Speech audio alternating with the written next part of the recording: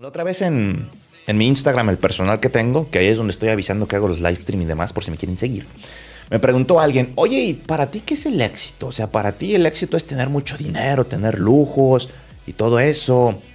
A ver, yo les voy a decir honestamente, para mí que es en gran parte... A ver, es que hay diferentes éxitos, pero a ver, vamos a tocar de, de primera instancia, ¿qué es para mí el, el éxito monetario? Porque algunos van a decir lujos, realmente no.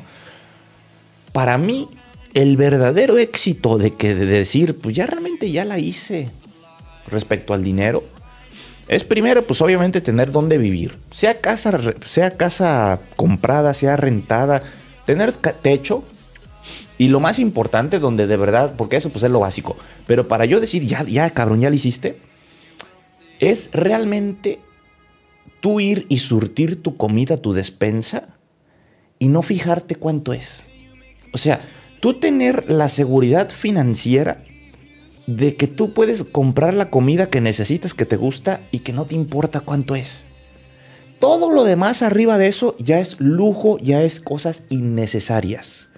Porque de verdad, es para mí, se los puedo decir que sí, yo me he podido comprar esto, lo otro, ok.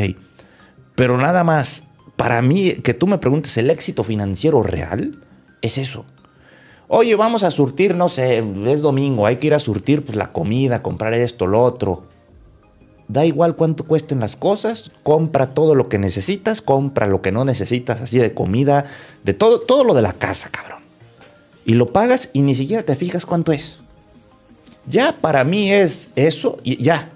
Con eso le hiciste, cabrón. Todo lo demás es, es lujo es algo que realmente no se necesita.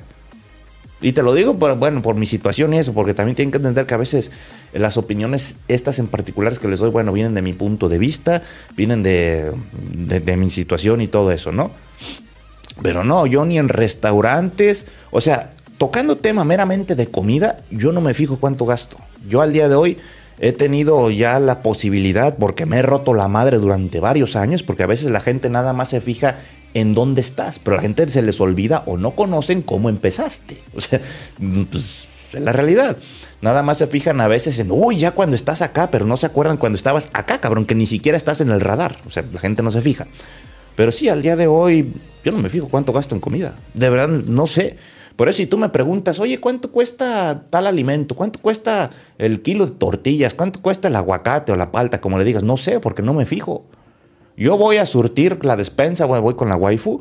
¿Qué se necesita? Porque la waifu está, según ella, haciendo dieta. Pues salmón, pescado, carne, plátanos, huevo, esto, lo otro, shampoo, chingo de comida para los gatos, o sea, todo. Mm, agárralo, pásalo, pago la tarjeta, vámonos. O sea, no sé cuánto cuesta. Para mí eso ya es, ya la hiciste, cabrón. Todo lo demás arriba es lujo. Es lujo. Y si te lo quieres dar, puedes, chingón.